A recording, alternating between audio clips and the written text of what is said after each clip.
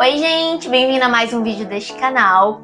E nesse vídeo eu quero mostrar para vocês como que eu desenho as pernas de um croquis. Quero mostrar algumas técnicas, te dar algumas dicas também para vocês irem praticando e aperfeiçoando para fazer aquelas belíssimas pernas. Aqui eu quero mostrar para vocês quatro tipos de poses de pernas e junto vocês irem me acompanhando e vendo como que eu faço, eu passando para vocês, passo a passo. Beleza? Então, vamos lá! Bem,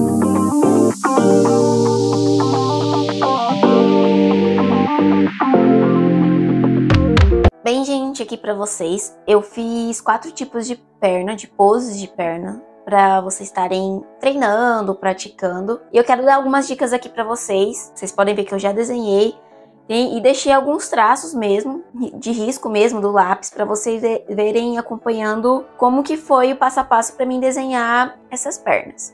Bem, nessa aqui, essa primeira aqui, para auxiliar a gente, é uma pose que tá com a perna jogada um pouco de lado. Eu inicio fazendo um tipo de um trapézio, tortinho mesmo, que é a pose. Eu marco a região central, a região pubiana, um tracinho, e no meio desse risco que eu fiz, eu procuro fazer umas bolinhas bem no centro, para cada lado. Assim, eu já desço reto, em linha reta, essa primeira perna. A segunda, vocês podem ver que ela tá um pouquinho de lado. Então, a gente desce reto também.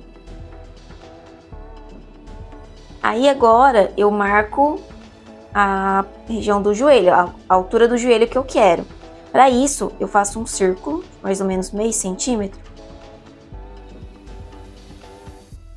Agora, essa, essa marcação que eu faço aqui, como agora eu também vou fazer aqui já no tornozelo, auxilia a gente aí afinando, afunilando para formar a região do quadril, formar a coxa.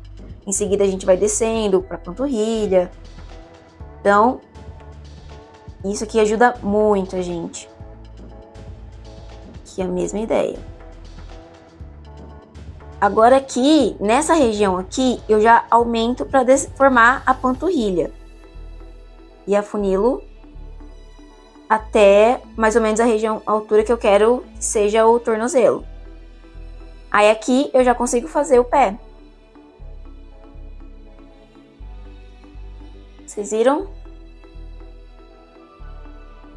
Aí a gente pode ir arrumando. No caso aqui eu achei que ficou muito grosso o tornozelo. A gente afunila.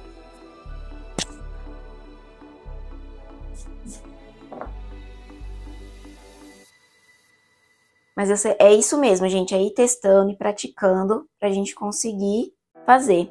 Agora, desse lado aqui, como a perna tá um pouco de lado, aqui a gente desce e dá um volume aqui nessa coxa.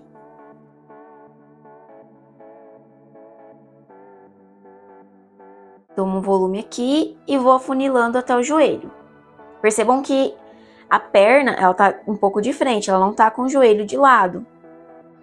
Então a gente consegue já desenhar também o joelho. A gente faz a panturrilha e afunila até o tornozelo. Aqui eu já desenho tornozelo, faço esse desenho para marcar e já desenho o pé. Vocês estão vendo?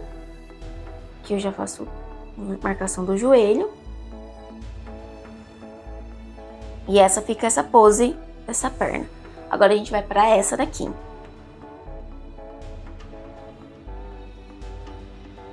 Essa aqui, vocês percebam que essa perna, ela tá na frente e essa aqui atrás.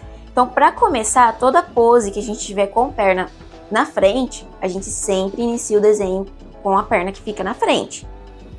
Então, a mesma ideia, eu vou desenhar tipo de um trapézio que jogado um pouco de lado. Já desenho aqui, marco a região pubiana. No meio aqui, eu vou fazer uma bolinha para me orientar. Então, como essa perna tá na frente, eu vou fazer esse risco. Descer esse traço para ficar na frente. Tá vendo? Essa aqui já tá atrás. Eu procuro marcar um pouco para trás. Tá vendo? E a mesma ideia da outra perna que eu fiz, a gente vai marcar mais ou menos a altura do joelho que a gente quer no nosso desenho. A perna de trás a gente nem precisa marcar, porque primeiro a gente vai desenhar a da frente.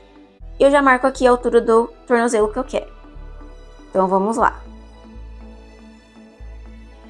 A gente dá o volume do, quadril, da coxa e a funila. Também dá o volume do, da coxa e vai diminuindo. Agora eu vou fazer a panturrilha. E a gente desce.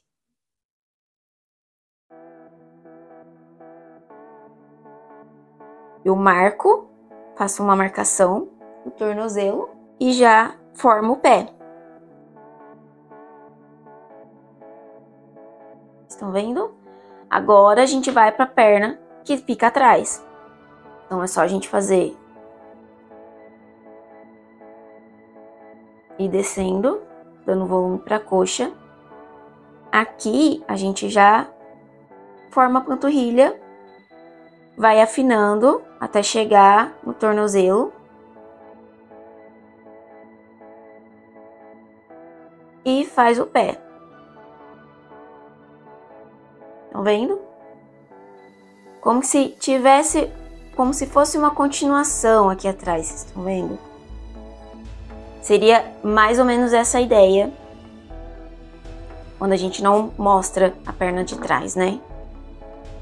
Sempre a gente faz. Aqui eu faço um desenho já do joelho.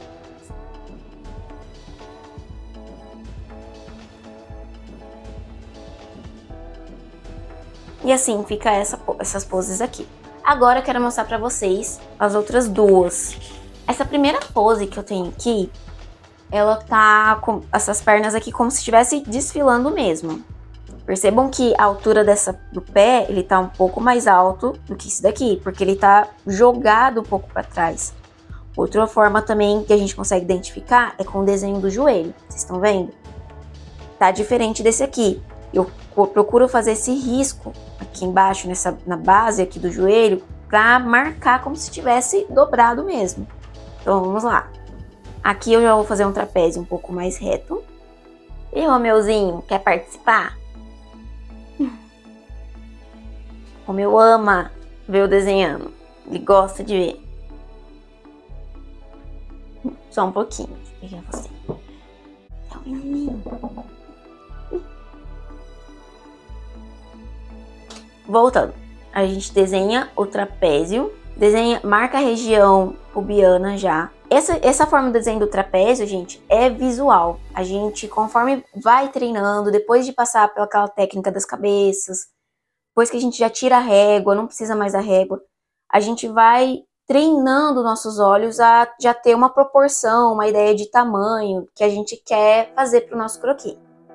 Aí eu vou marcar agora o meio das pernas. Essa perna aqui, ela tá um pouco para frente, ela tá na frente. Então, vou descer não tão reto, mas também nem tão, nem tão torto assim a linha.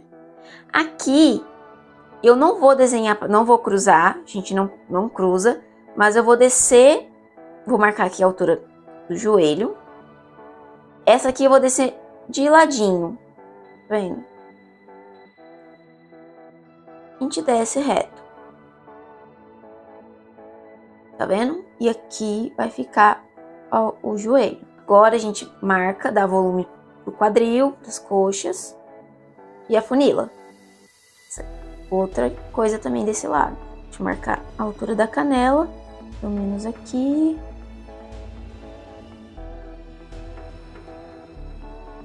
A gente já faz a panturrilha e a funila. Faz a panturrilha e a funila.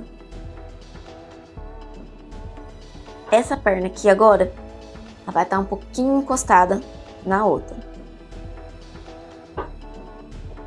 Vou ajustar aqui. Agora, essa parte do joelho aqui, a gente joga a panturrilha aqui pra cima.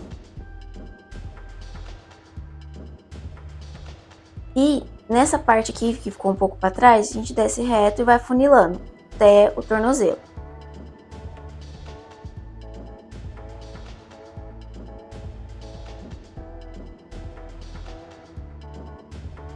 Desenha o tornozelo e dá uma jogadinha com o pé.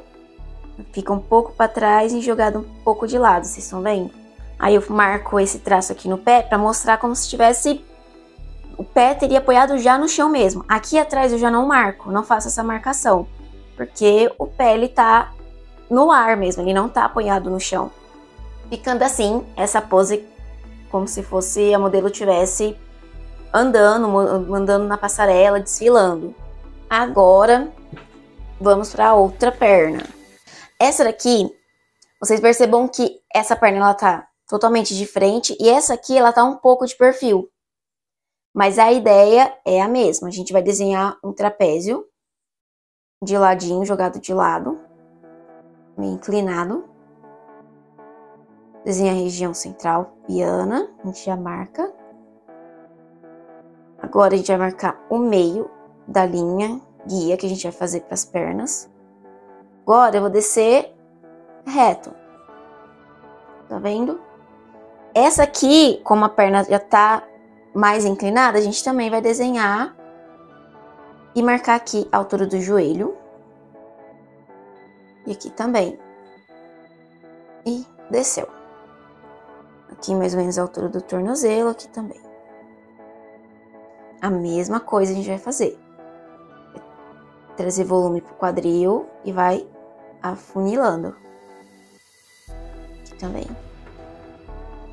Desenho a panturrilha vai afunilando. Volume panturrilha, afunila. Marca o tornozelo e desce pro pé. Agora esse lado, como tá um pouco jogado de lado, faço esse traço aqui, dou volume aqui em cima para coxa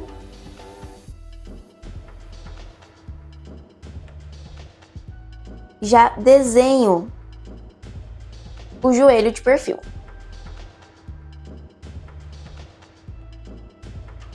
E dou volume para panturrilha. A gente desce afunilando. Aqui, a gente vai descer já reto. Não precisa dar volume aqui, porque se a gente dá volume, não, não, não parece que a perna já tá de perfil. Então, se a gente descer reto, igual como tá aqui, já dá para identificar que a perna tá de perfil.